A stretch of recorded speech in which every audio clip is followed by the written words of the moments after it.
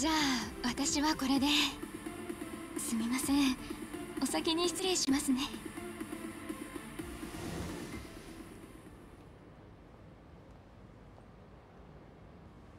よ見ろよあれ。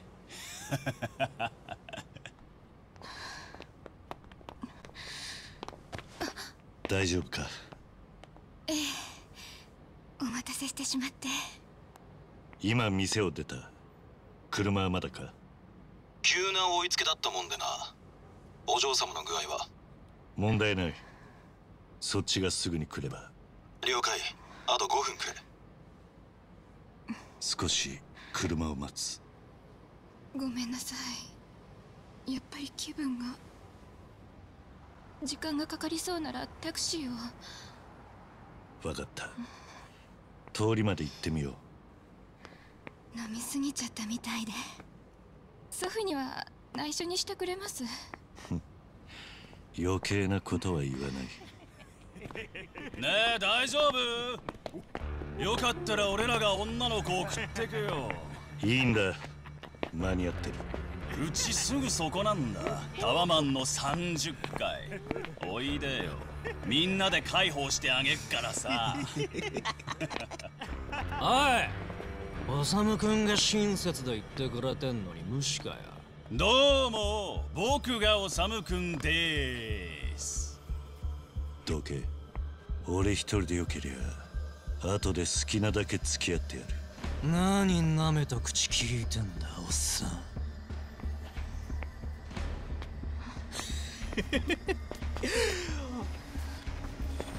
トラブル発生。車はまだか？到着まで3分何があった？後で話す。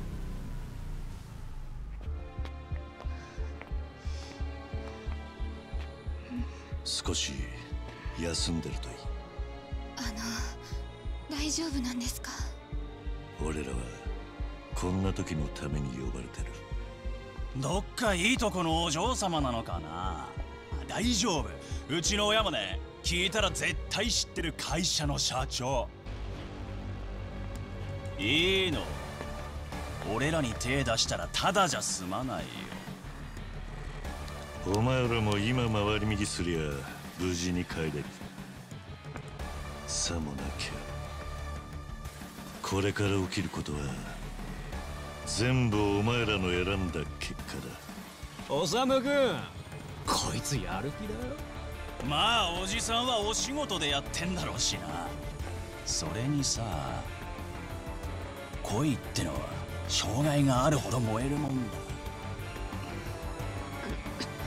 さあお嬢様にいいとこ見せちゃおうぜ。